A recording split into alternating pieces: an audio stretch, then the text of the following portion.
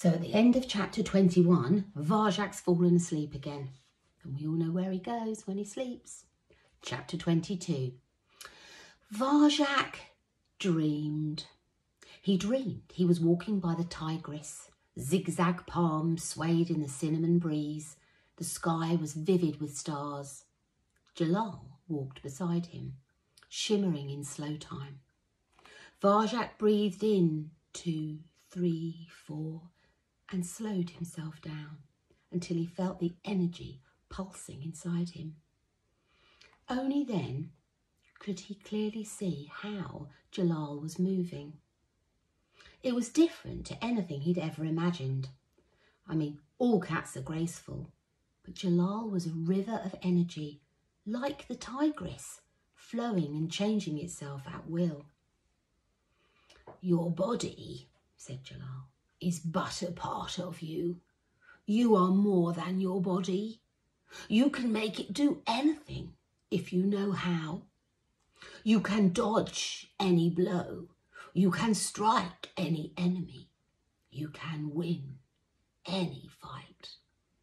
I will show you how, for that is the fifth skill, and we call it moving circles. His silver blue frame started to twist into shapes as strange as those stars above. First, he made a soft velvet arch of himself, and Varjak copied him, and he stretched his spine as far as it would go, and then a bit further. And next, Jalal's arch curved round on itself, became a fluid figure of eight. And Varjak followed him made the move. It was a giant stretch. He felt pain, hot, white pain, but he felt something else as well. The energy that pulsed in his belly was changing into a new kind of power. And now Jalal's figure of eight melted into a circle, an endless moving circle. Varjak breathed in deeply and followed his ancestor. His whole body shook under the strain. But that power was building up, growing stronger, a warm flow, free and unlimited, a moving circle, like Jalal. It felt like he was glowing. Good, said Jalal. Now the last movement.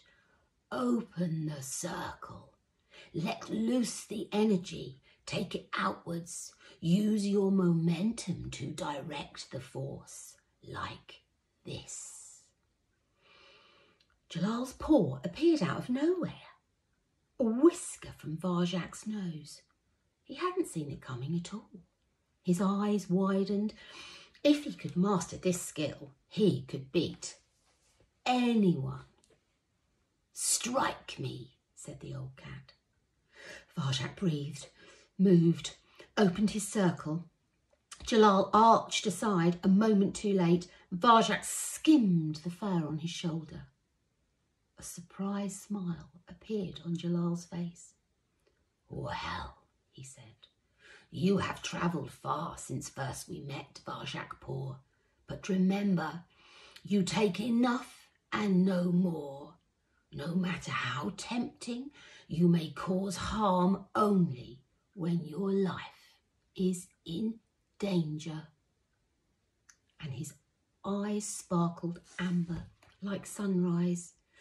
Which it is. Now wake up. Hmm.